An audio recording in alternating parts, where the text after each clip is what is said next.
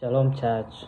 Uh, my name is Sami Kimeto, son of the great apostle, the great prophet of God, Alph Lukau. Yesterday um, was a great day when we started the prophetic school of ministry with our father. I sat on this chair the whole day. I listened to the word of God. I listened to the teaching of the prophet of God, our Father. It blew my mind. And at the end of the day, I was thinking like, it cannot get better than this. There could not be more than this. Then, throughout the night, I reflected on the word, meditated upon the word, upon the teachings of the servant of God, about the spirit man, the body, the soul, and I was blessed. It was clear in my spirit that there is much in God. There is much that we need to learn. There is much personally I need to learn and understand in the spirit.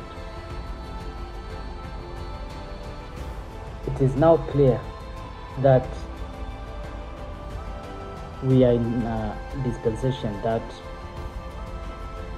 many in the Old Testament looked forward to see it. They yearned to be in this dispensation because this is an incredible dispensation.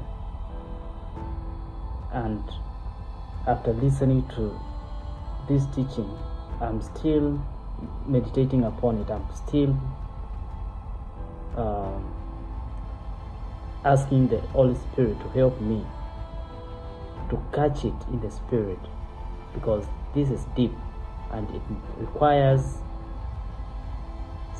spiritually to understand it the revelation of the Word of God. And it is clear in my spirit that after this teaching, my life has to change. I have to to know the period where we are and how much time we have to do what we need to do or, or rather to do what I need to do.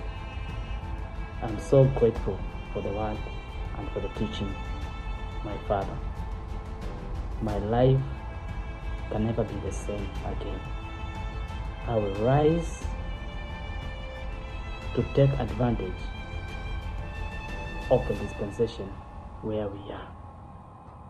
Thank you and God bless you.